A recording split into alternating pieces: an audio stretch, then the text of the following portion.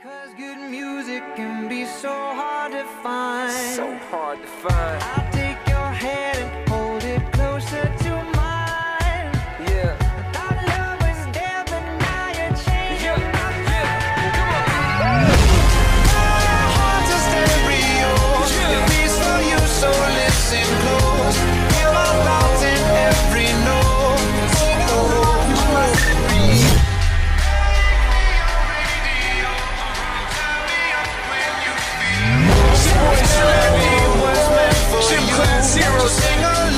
to my stereo.